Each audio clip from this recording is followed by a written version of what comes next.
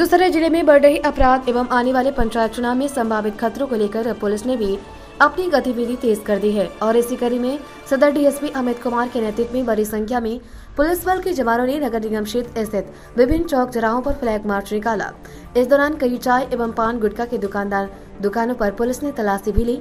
हालाँकि तलाशी के दौरान कोई भी आपत्तिजनक सामान पुलिस को बरामद नहीं हुए, लेकिन पदाधिकारियों के अनुसार पंचायत चुनाव को देखते हुए अभी पुलिस की गश्ती लगातार जारी रहेगी और पूरे ज़िले में पुलिस के द्वारा गश्ती तेज कर दी जाएगी। ब्यूरो न्यूज़ बिहार के लिए बेगूसराय से रविशंकर गन के साथ विजय कुमार की रिपोर्ट।